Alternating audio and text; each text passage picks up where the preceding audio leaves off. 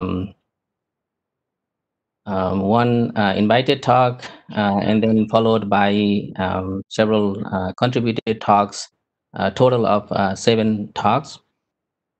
And uh, we have uh, speakers from here um, in the US, um, as well as several speakers from Nepal. Um, and the the rule is following um, for invited talk. It is 25 plus 5 and uh, for um, contributed uh, talk, um, it is uh, 10 plus 2.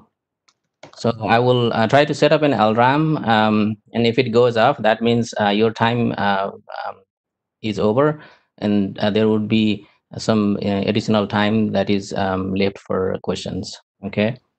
Um, so I will also try to give you some warnings, like uh, especially for the invited talk, few minutes before um, your time is over. But when you hear the bell, um, you know it means your 20 minutes is over. Uh, for contributed talks, your um, 10 minutes is over. Um, so with that uh, rules, uh, let me uh, introduce um, our uh, first speaker. this is Dr. Tika Kafle. Uh, he um, is uh, from uh, University of Colorado, um, Boulder, um, and he is um, a postdoctoral fellow um, in Jila, um, a place that is well known for AMO physics.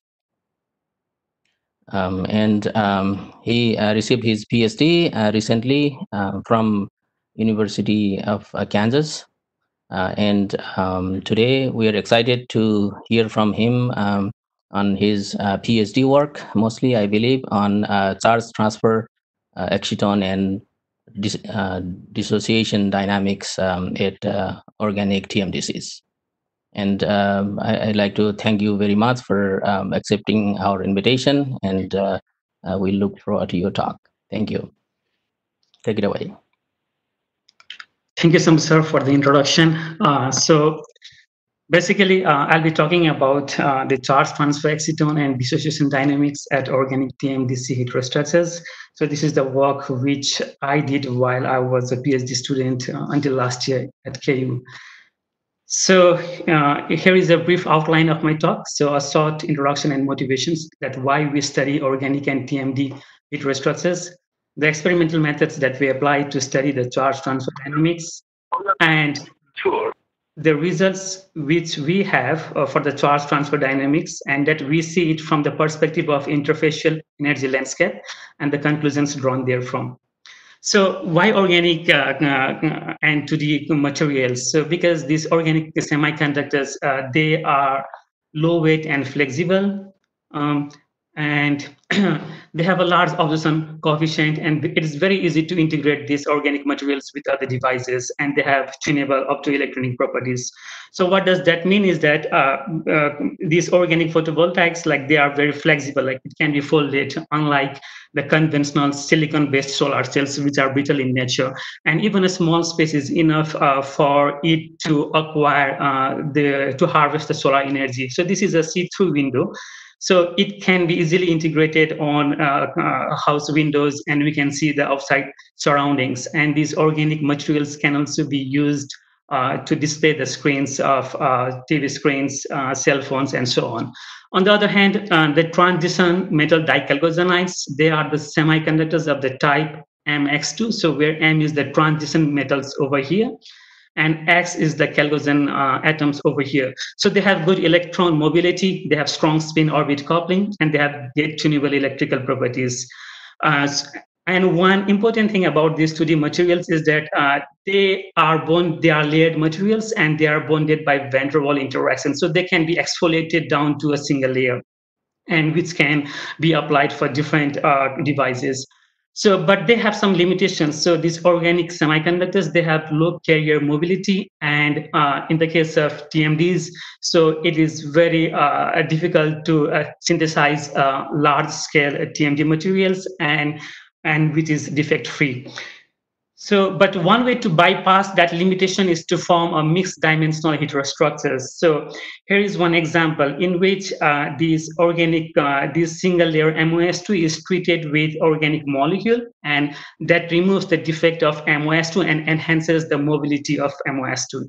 So here it's an, another example. So the organic, the organic material is combined with uh, MOS2 to form a vertical, uh, a very thin vertical PN junction, and that really narrows down the uh, electronic uh, electronic devices. And so these organic uh, materials can also be combined with 2D materials to form the organic photovoltaics. So they have uh, a wide range of applications, even in uh, photodetectors, memory devices, and so on.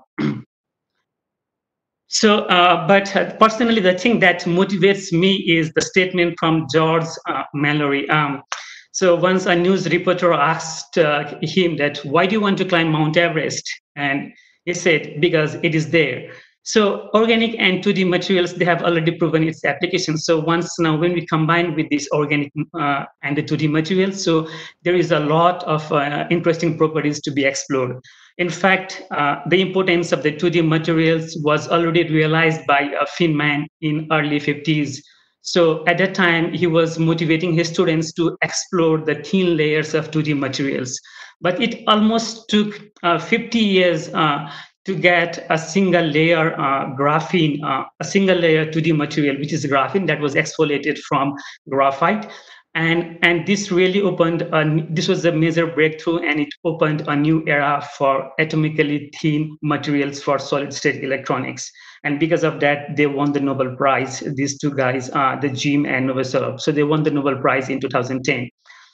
So, uh, uh, but this graphene, it had limitations because it had a zero band gap. So people started looking for another 2D materials in which there was a band gap. So the same group came up with another 2D materials. There's MOS2, and this is NBSE2, uh, a kind uh, of 2D material. So, um, and then this is graphene, sorry. Um, yeah so they came with these. And uh, and so uh, so and and its applications was uh, uh, uh realized in many devices so uh, in 2010, uh, so uh, uh this uh, Feng Wang group, they studied uh, different layers of MOS2 and they found that a single layer MOS2 had a very high PL yield, the photoluminescence yield. And they attributed that high PL yield to direct optical band gap of the MOS2. So this again opened a, a broader area for its applications. And uh, coming back in, uh, in 2013, so to my knowledge, so this is the first heterostructure other than graphene that, that consists of a single layer material uh, to form a PN junction. So they combined the carbon nanotube with the single layer MOS2 and the PN junction was formed and the electrical characteristics of this material could be controlled by, by applying the uh, uh, bias voltage. So in 2014, so they form uh, these uh, Tony Heinz groups. So they form the atomically thin PN junctions, which consist of 2D materials, single layer. Uh, one was MOS2 and the other is WSE2. And I believe so. This is uh, one of uh, the um, uh, smallest material to its quantum limit um, until now.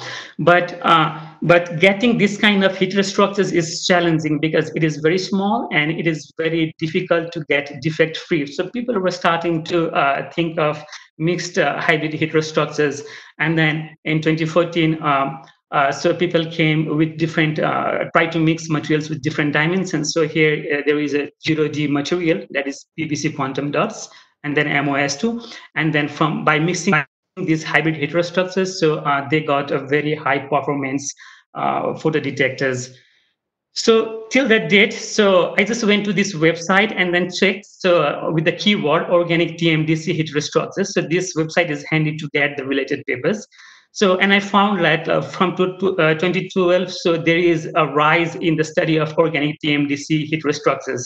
While this number may be very small enough, but if I just go to this organic and if I choose the word 2D heterostructures, this number goes to tens of thousands. So this already shows that why uh, mixed hybrid heterostructures is very important and why it is gaining interest. So, but how does it work? So, uh, basically, the organic TMDC heterostructures, so uh, we can think them as, as of donor and acceptor.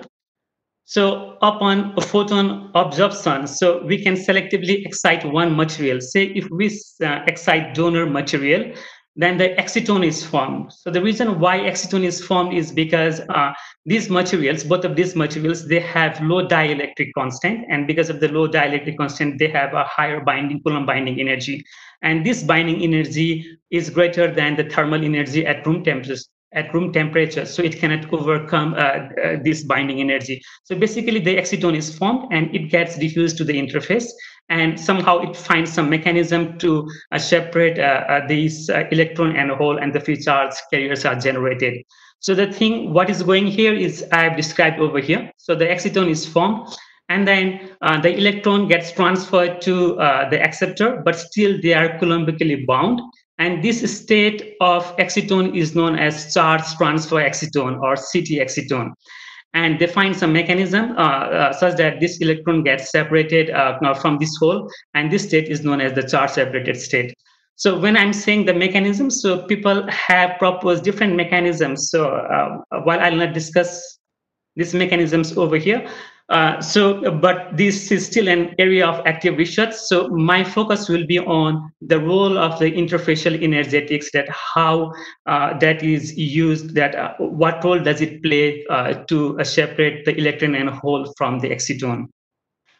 So this is the cartoon of the material that I use, the heterostructure. So ZnPc, it's an organic molecule and, and it's free electrons the, are the pi electrons and it moves along the pi chain. So this pi chain, uh, uh, this pi stacking of this uh, molecule can be controlled by its orientation. If these uh, molecules have face-on orientation, the pi stacking direction is perpendicular to the interface.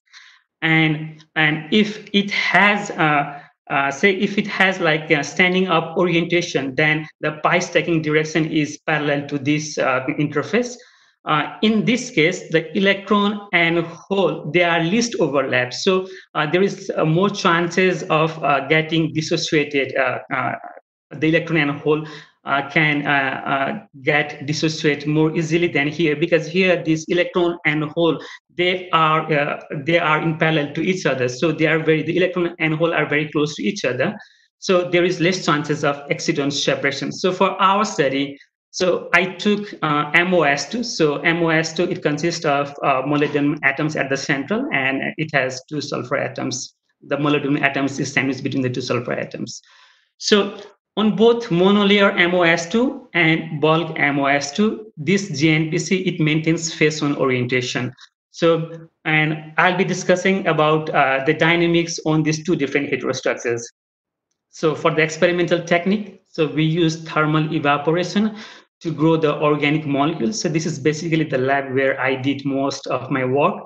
So we grow the organic molecules over here, and then once when we grow the organic molecules, we transfer to the main chamber, and from the main chamber, uh, uh, uh so uh, we uh, we have the laser setup. So that is called time resolved two photon photo emission technique. So basically, it consists of two laser pulses, the pump and the probe, and because of this delay stage, we can control the time delay between these two laser pulses, and and uh, and the electron can be uh, ejected from the sample. And basically, the analyzer it uh, it collects the information about the energy and time dynamics of the excited states of the electron.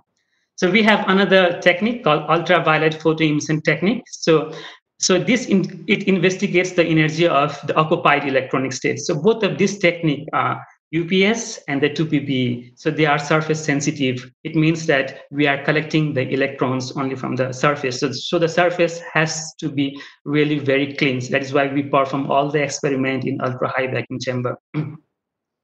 So what does that mean? Uh, so uh, here, uh, so we have the pump pulse. It uh, uh, it excites the material and it forms exciton, and the second pulse comes after a certain time and it ejects this electron, and we get a very nice 2D data, and from there we can get the dynamics of a certain state, and then we also can get the energy spectrum uh, of that state. Um, so in the UPS, we just use a single pulse, and from the single pulse, it gives uh, us the information about the occupied electronic states. If it is inorganic material, we can get the valence band maximum. If it is organic material, so we can get uh, uh, the HOMO, so the highly occupied molecular orbital. So that corresponds to the valence band maximum in the case of inorganic materials.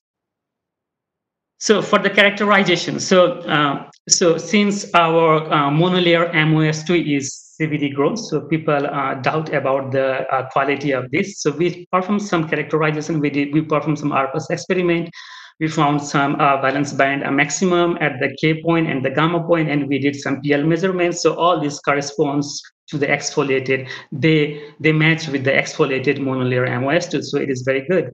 So we also uh, uh, did uh, some LEED diffraction measurements. So LEED is a low low electron energy diffraction.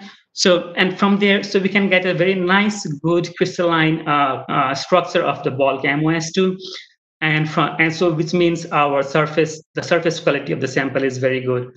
And for this face-on orientation, which I discussed earlier, so we can uh, know what orientation of that material is from by measuring the ionization potential. Usually the ionization potential of the face-on orientation is like at least 0.3 EV higher than the standing up uh, orientation of the molecules. So this uh, uh, ionization potential will matches uh, with uh, the face-on stacking of the organic molecules. And also we can measure uh, the um, the diameter of the ring diameter of these molecules from from this LEED diffraction pattern by using the beam energy. So this also says that this organic molecule has a face-on stacking. So uh, while this, this is the data, so it may look quite complicated, uh, but I'll try to simplify it.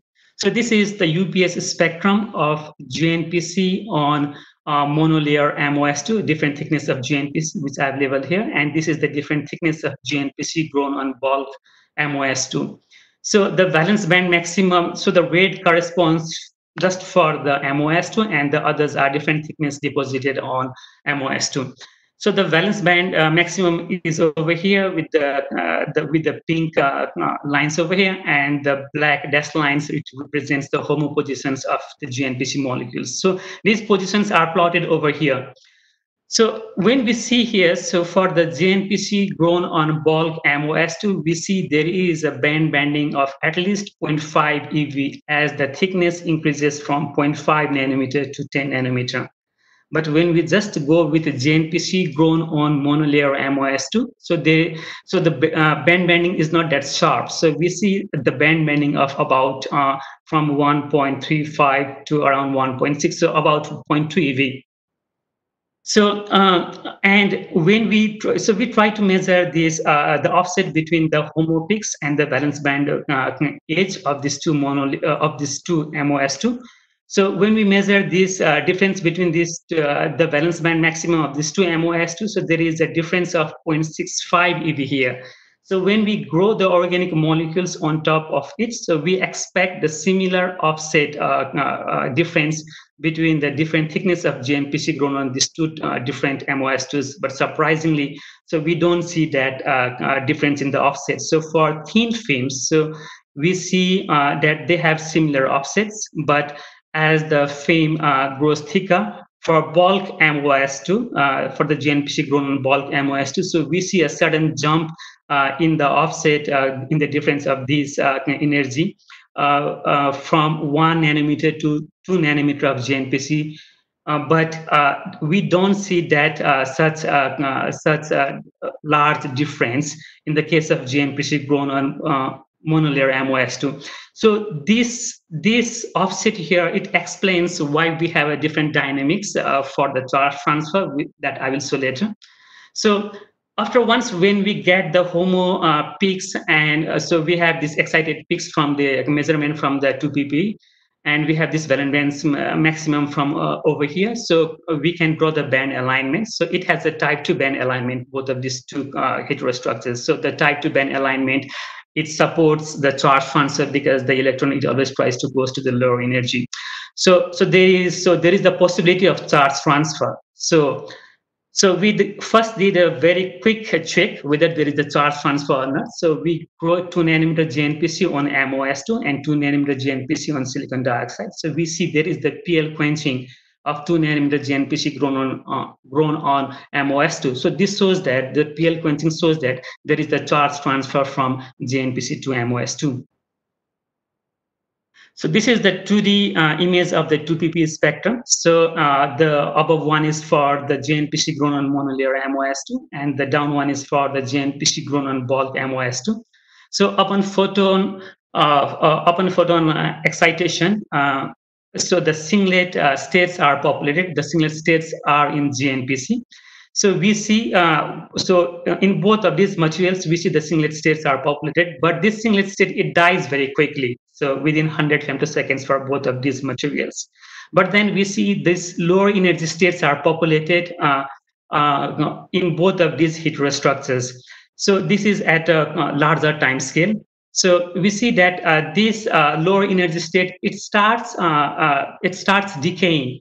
So what does this say? The, uh, the, this decay of this singlet state, it says that uh, the, there is a charge transfer from ZnPc to monolayer. Uh, since our uh, technique is surface sensitive, the ZnPc is at the top. So once when it goes to the monolayer, we cannot detect those electrons. So it decays very quickly. So this corresponds to the charge transfer from ZnPc to MOS2. But in the case of these uh, uh, two different heterostructures, uh, these uh, lower energy state, it starts decaying, but it starts growing in the case of bulk system. So if we go to a further time scale, so we see uh, this uh, lower, energy, lower energy state, it completely decays within 20 picoseconds of time. But in the case of bulk system, we see there is the increase in the intensity. So if so, here it is from 5,000 to like a few uh, uh, like nearly by an order of magnitude increase in the intensity. So further going uh, to a higher time scale to 300 picoseconds, that was the maximum time scale we could reach. So there is the increase in intensity. so what does this says to us is that since it is lower in energy and it has a longer lifetime. So we attribute this state to uh, the triplet state uh, in ZnPc. So basically, the triplet state of ZnPc is at 1.1 in uh, EV above the HOMO level. So this is the HOMO that corresponds with respect to ZnPc. So, so uh, we attribute this state to the triplet state we did some control measurements that whether that was from the uh, uh, um, MOS2, uh, the signal from MOS2, or just from the ZnPc. So when we did uh, uh, measured uh, on MOS2, so we don't have any signals. And when we do that on 10 nanometer ZnPc, so we don't see any lower energy states populated. We just see the singlet states, and that has very longer lifetime. So whatever the dynamics, so which we which I showed earlier, so that is basically coming from the interface of the two materials. So here, uh, this is the dynamics uh, of the singlet state here. So that is the singlet state in the monolayer system, and that is the singlet state in the bulk system. So as I said earlier, so there was a list band bending in the case of ZnPc grown on monolayer MOS. So because of that list band bending, so uh, uh, so there is even energy landscape. So whenever there is even energy landscape, so the uh, electron does not localize. So uh, the uh, the size of the electron uh, it it remains delocalized. So the delocalization size, I mean to say that the size of the exciton. So uh, since it is uh, uh, because of the less band bending, so uh, the uh, exciton gets delocalized and then it quickly gets transferred to the MOS2. So and and since the less band bending was observed for 0.51 and 2 nanometers, so basically we see the same type of uh, dynamics over here. So this decay, it again corresponds to the charge transfer from ZnPc to monolayer. But as we go from in the bulk system, so I showed earlier that as we move from one nanometer to, to two nanometers, so there was a sharp uh, increase in this uh, band bending. So that is why we see so uh, this uh, difference in uh, the, the dynamics of the singlet state. So which is thickness sensitive. So because of that uneven energy landscape so the uh, uh, uh, this electron uh, gets localized um, so it does not become delocalized. Uh, so so that uh, this decay time it it increases as the thickness of the ZnPc keeps on increasing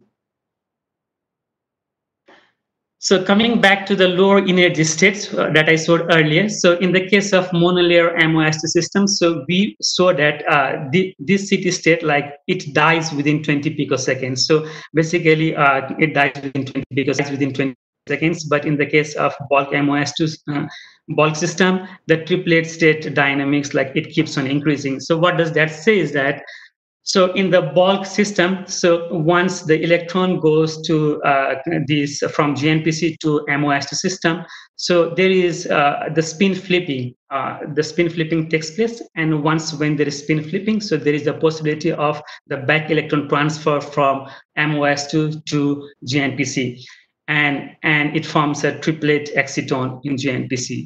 But in the case of monolayer MOS2 system, so it decays. So this it either says that uh, there should be the recombination of uh, this electron and hole so that we don't have any signal or either this uh, electron uh, and hole get separated and now the electron is in a monolayer system and our system cannot detect that.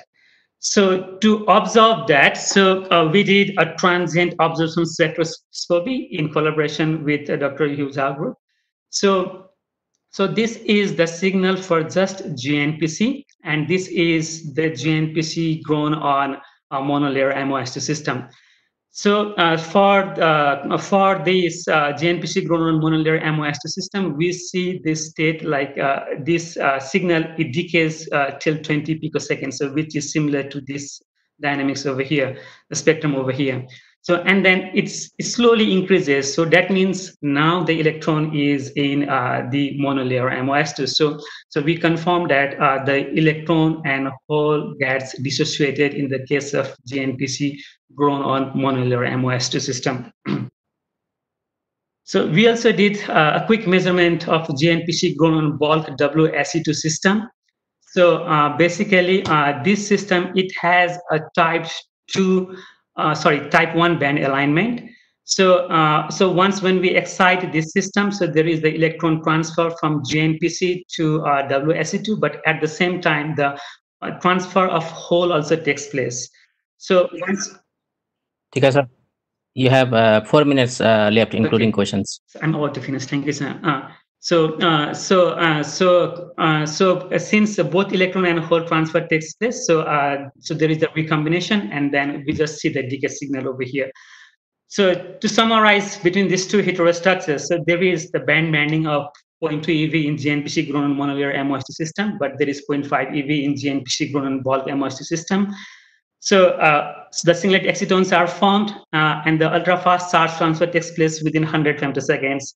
And then the CT rate, the charge transfer rate is independent of thickness in the case of uh, monolayer MOS2 system, but it is sensitive to thickness in the bulk MOS2 system. So the exciton dissociation takes place in monolayer MOS2 system, whereas there is the spin flipping in the case of bulk MOS2 system, and eventually it forms the triplet excitons. So to conclude, uh, um, so um, so the type 2 band alignment is a prerequisite for the charge transfer and charge separation. Uh, this flatter band, that means uh, less steeper band, it promotes the coherent transport and hence exciton dissociation. And sometimes the, t- uh, t- the spin lifetime also comes into play to determine the fate of CT excitons. So basically, these are the reference- references. So more detailed information can be found here. So I would like to thank uh, from my uh, previous group, the Chan Research Group at KU, my advisor Wai-Lun Chan, and lab members Bhopal and T our collaborators Hui at University of Kansas, and this talk would not uh, have been possible without the support of the current advisor, uh, Henry Kapteyn and, and, Margaret Murnane at the Kapteyn Murnane Group at JILA at CU.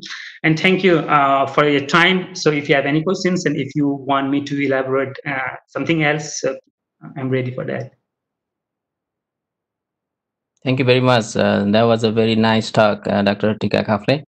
So the talk is now uh, open for questions. Uh, if anyone has uh, uh, any questions, uh, please uh, unmute yourself um, and uh, ask.